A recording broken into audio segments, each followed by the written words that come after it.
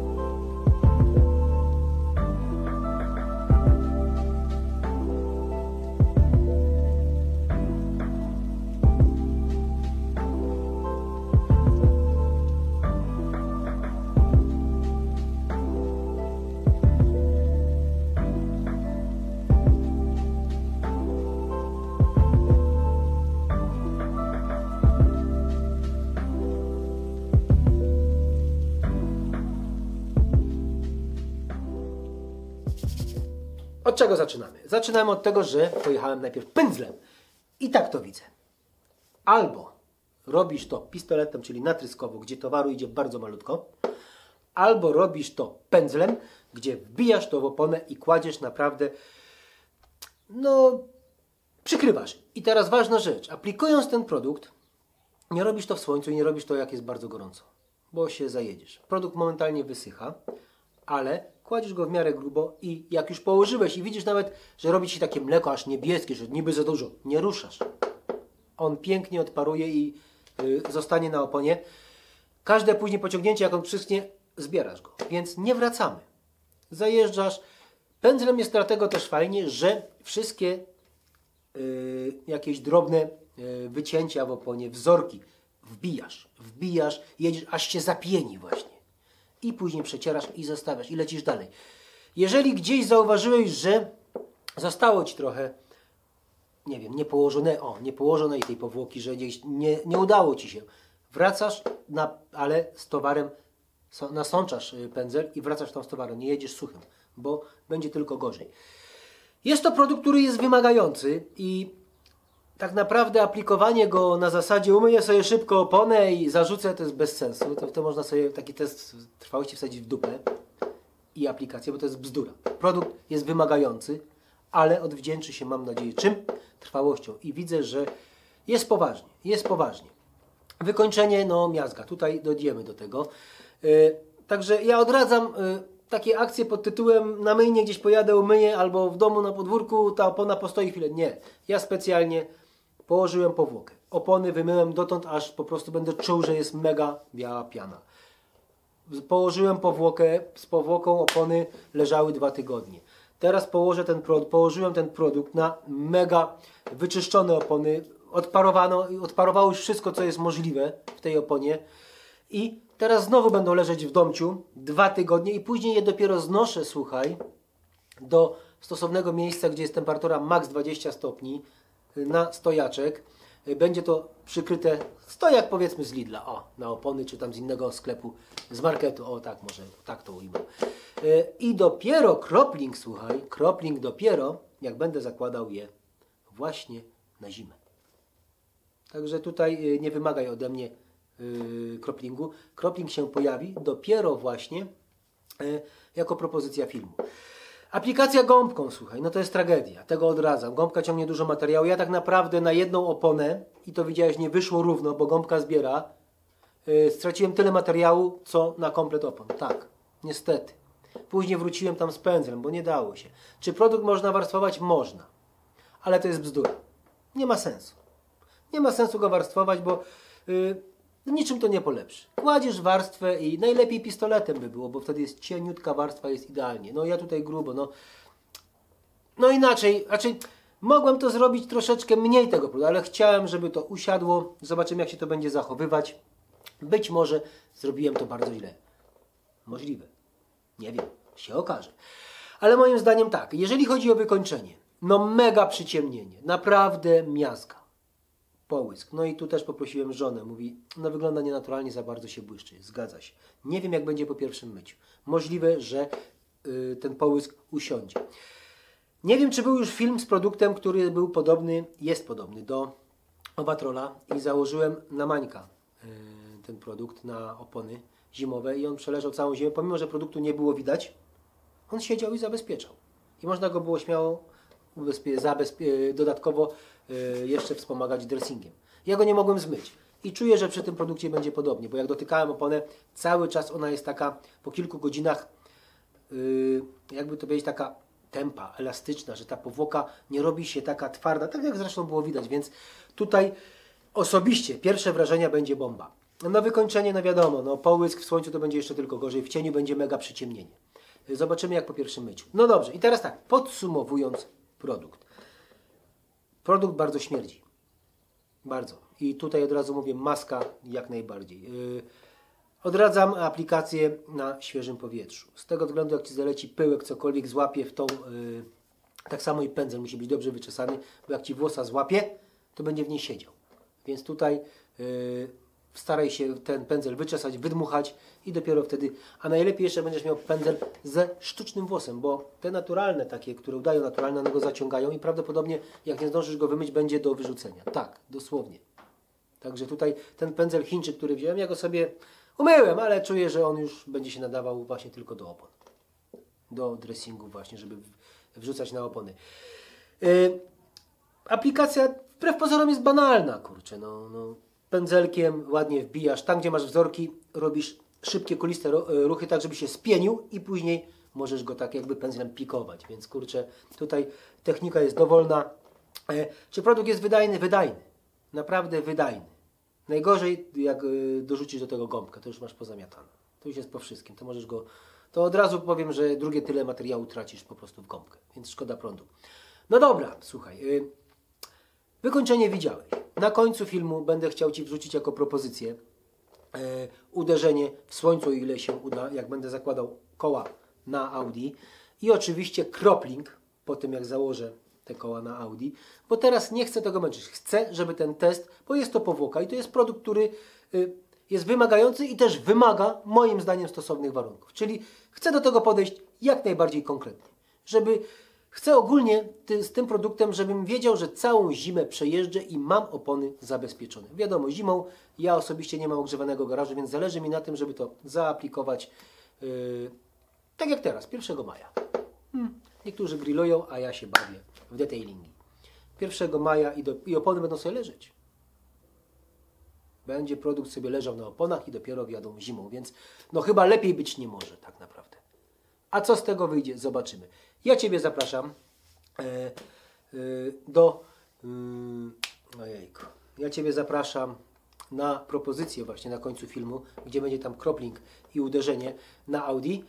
A z mojej strony to wszystko. Myślę, że temat chyba kurczę wyczerpałem. Tak naprawdę produkty i do opony, i do, można powiedzieć, do plastiku też zabezpieczę, oczywiście. Tylko, że właśnie albo pędzel, a moim zdaniem najlepiej właśnie natryskowo, czyli pistolecik i ogień. Dzięki za obejrzenie, do zobaczenia, do usłyszenia. Cześć!